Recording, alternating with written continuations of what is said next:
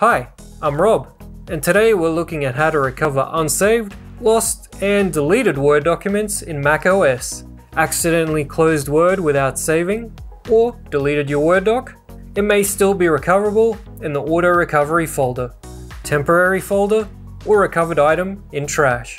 Worst case scenario, you can try a recovery software to bring it back. Let's look at a few ways to recover your Word documents, starting with the features in Microsoft Word in macOS. Oh, and you can also use these methods to recover unsaved Excel files.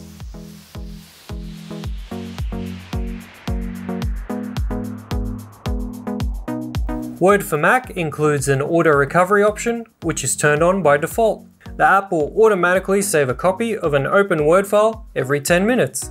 If Word freezes while you're working on a document, or if the computer crashes, you can use the auto recovery copy to recover an unsaved Word document. It should have the changes or additions that you made in a 10 minute window. To access the auto recovery, open Finder on your Mac. Then head to Go and go to Folder. Next, type the following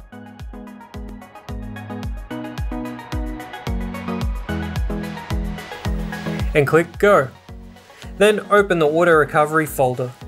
Locate all the files that start with the words Auto Recovery Save Of.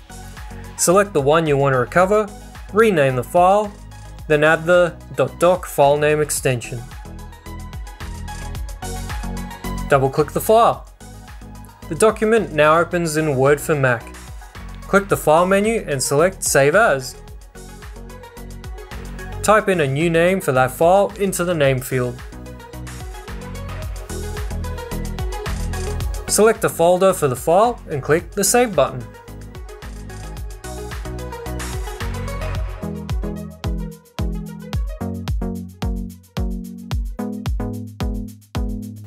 Word for Mac saves a copy of unsaved documents named as Word Work File in the temporary folder.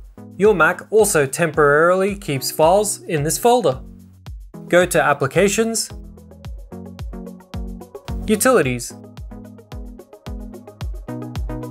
and double-click Terminal. Open $TMP dir, and you will be directed to the TMP folder which is used to keep files temporarily. In the TMP folder, find and open the folder named Temporary Items. Inside, right-click the desired unsaved Word files and open with Microsoft Word. Save the Word file by clicking on File, Save As, and save it to another location.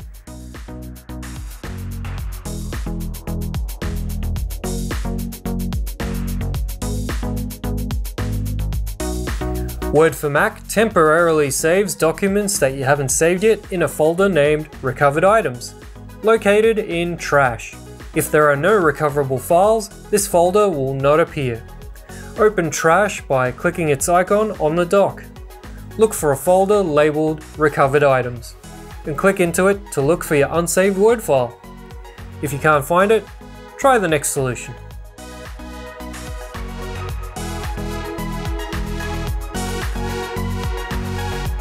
The EaseUS Data Recovery Wizard features a special unsaved document recovery feature that you can use to recover unsaved Word files on your Mac.